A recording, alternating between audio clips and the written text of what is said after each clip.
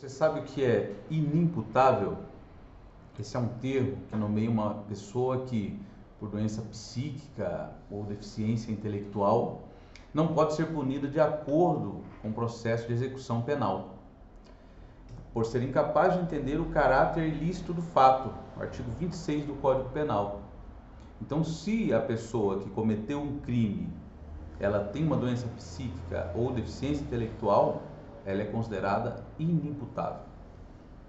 Se liga aí.